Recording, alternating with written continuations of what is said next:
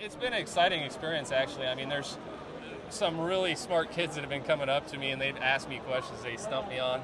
But especially the kids that ask me the questions, uh, it's, it's fun to actually have somebody interested. Uh, so it's exp- being able to explain it to them and have them excited about learning more about cable. Uh, and then the engineering and the math that goes along with it, it's an exciting experience for me. This is just an example of the equipment we use at Time Warner Cable out in the out in the plant. Uh, overall, it starts at the node. Uh, the node is the centrally located piece of equipment that uh, all the houses in a neighborhood start with. It feeds approximately 200 to 250 houses at this point in time. This amplifier has, of course, three outputs. You got one, two, three, uh, so the cable at that point in time can go three different directions.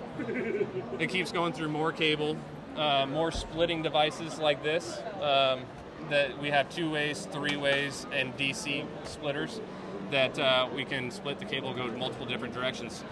So that's right there an LE, a line extender, which is just one output.